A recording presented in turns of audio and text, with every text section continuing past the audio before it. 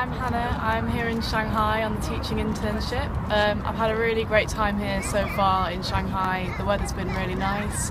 Um, I've already done loads and seen a lot. Um, and I really like it. Um, I'm really looking forward to teaching as I've had teaching experience before, um, teaching young children.